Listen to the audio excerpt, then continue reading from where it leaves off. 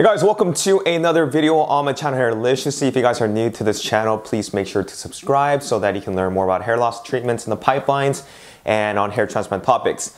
Uh, a couple days ago, I actually did a video on the topic of dutasteride, one of the best hair loss treatment medication that's off-label that's available right now. And we know dutasteride by its brand name Avodart. Dutasteride is another 5-alpha reductase inhibitor that blocks both type 1 and type 2 of the isoenzymes of the 5-alpha reductase. Uh, type 1 is typically found in the skin and the hair follicles, and type 2 is found in the male genitalia and prostate as well as in the inner sheath of the hair follicles. And studies do show that 0.5 milligrams of dutasteride is much more potent than 1 milligram of finasteride due to its capability to reduce DHT serums by over 90%, where finasteride only reduces it about 70% uh, of the serum DHT. So there's no doubt that dutasteride works far more superior in blocking more DHT, which leads to being a better hair loss treatment.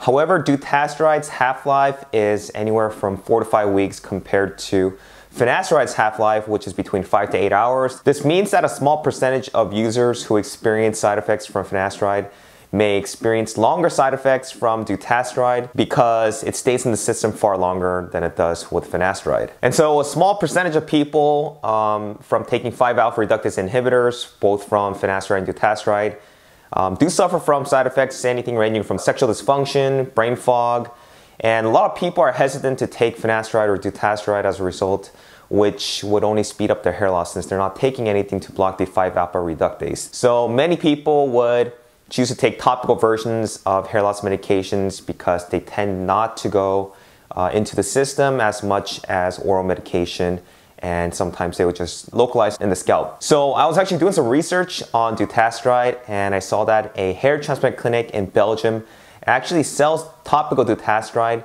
and from previous research, I do know that they do sell topical versions of finasteride out in the market right now. One of them, which is in a clinic in, uh, in Canada. But I will talk about topicals in another video. Today, I wanted to talk about something interesting that I came across and it was a study in Spain regarding mesotherapy with dutasteride for the treatment of androgenetic alopecia. Um, if you guys haven't heard of what mesotherapy is, mesotherapy involves a procedure where you have tiny injections of dutasteride which are administered into the mesodermal layer of the scalp. So pretty much it's kind of like PRP except for you are getting injections of dutasteride.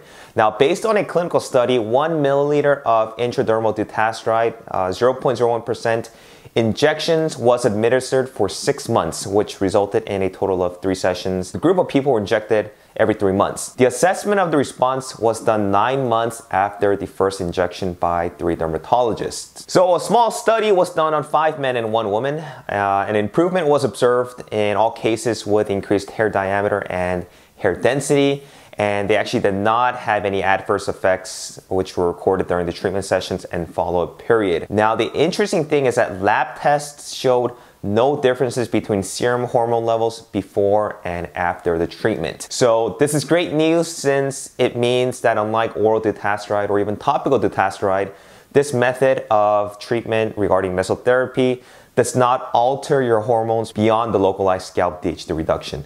In addition, this only required injections to be performed uh, once every three months. And the thing that I wanted to add is that the study doesn't really clearly mention when they performed the lab test, since if they did it after the nine months, it can be expected that there would be no systemic hormonal modification. But if they did do it after the six month mark, it doesn't mean that there weren't any systemic hormonal modification over the course of the treatments. It can just mean that at, you know, at that point, there was no significant hormonal modification in comparison with before the treatment. Uh, but in my opinion, uh, even if it did go systemic and alter the hormones in the body, I don't think the effects would be nearly as strong as oral therapy. So the advantage of mesotherapy with dutasteride is that you can get high concentrations of dutasteride in the hair root. And as mentioned, the scientific studies of mesotherapy with dutasteride regarding the previous study where patients were injected dutasteride every three months had no traces of medication in blood tests um, and they did not detect any changes in sexual hormone levels. So it sounds really good, right? But let's go ahead and take a look at another study that involved mesotherapy using dutasteride. So on the contrary, other clinical trials compared mesotherapy of dutasteride containing solution with placebo. They did detect a moderate to significant improvement of hair, which is to be expected with dutasteride. And treatment schedule in all these studies involved intensive treatment sessions with weekly injections for the first month in all patients. So instead of getting it once every three months, this study involved people getting dutasteride injections every week. Uh, this would obviously be more costly as well as increase the possibility of dutasteride going uh, systemic into the body since they're literally getting injections every week versus getting injections once every three months, like the first study. I don't think it would make sense to get weekly treatments since dutasteride has a half-life of anywhere from four to five weeks. But the trichogram analysis from one study did show that when dutasteride was used in combination with other vitamins, it resulted in better hair growth. Now, this can most likely be explained by the multifactorial pathophysiology of androgenetic alopecia involving hair sensitivity to DHT and microinflammation. So a multi-therapeutic approach might seem to be more effective in terms of treating genetic hair loss. So here's an example of mesotherapy injections of pure dutasteride, uh, dutasteride 0.005% and polysorbate 80 in sodium chloride. And if you guys take a look, before and the after photo looks pretty good in terms of hair growth. But like I said, weekly injections can definitely increase side effects and it can go systemic. And that was a case for another study where systemic absorption took place and spermatogenesis did occur, although the decline was within the normal range. A decline in sperm concentration from 29 million per milliliter to 7 million per milliliter, and a decline in sperm motility from 65% to 28% um, was still within normal range. But doctors do need to realize, uh, you know, as far as the dosage, because this shows that the weekly dutasteride injections actually had side effects and went systemic. So this also proves that you can't always rely on one source of data or clinical trials since there's so many variables, as you guys can see here. Uh, at first, we thought that it didn't have any side effects, but if you were to get it every weekly, um, we did see some side effects. So as far as cost, we can only speculate since it wasn't really specified in any of the studies. But some people are taking a wild guess and they're saying that it might be similar to PRP injections. Um, obviously, it's going to be dependent on which clinic that you go to. But I actually did do some further research and reached out to some clinics in Europe. And the prices range anywhere from $50 to under $50 and even as much as $500 per session. Now, I personally don't think it's worth it since you can get generic dutasteride for about $30, $40 from Costco or from CVS.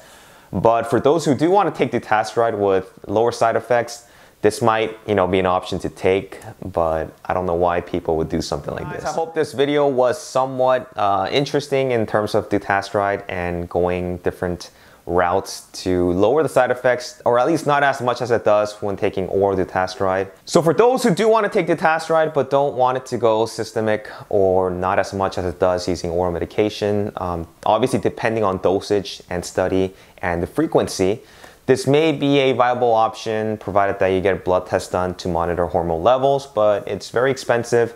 And if you do end up getting weekly injections, um, you know, there are still side effects. And obviously more studies need to be conducted to establish protocols and evaluation of long-term dutasteride injections as well as figuring out exactly what dosage would keep the, uh, the medication localized into the scalp. But we do know that it comes with hormonal changes uh, when, especially when it comes to oral dutasteride since it is a 5-alpha reductase inhibitor and uh, it is far more superior at suppressing DHT than it does with finasteride. So if you guys have any questions, please let me know.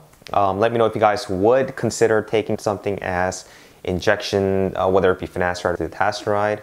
Um, like I said, in my opinion, I wouldn't. We have finasteride where I'm taking one milligram. I'm not having any side effects from that. So I'm good to go as far as right now. I'm taking minoxidil, uh, a multivitamin supplement, and also microneedling with minoxidil on the frontal portion of my scalp. For my next video, I don't know if you guys have noticed my beard. Um, it's been almost a week, so tomorrow I will be doing a video on my beard growth, but it's been about a week and I've been using minoxidil. Um, I haven't used dermaroller yet. I'm gonna start using that for my second week, but just to give you guys a quick view, this is how it looks. But stay tuned for tomorrow. I will have more information on that. Um, as always, thanks for all of your support. Um, and I'll talk to you next time. Take care.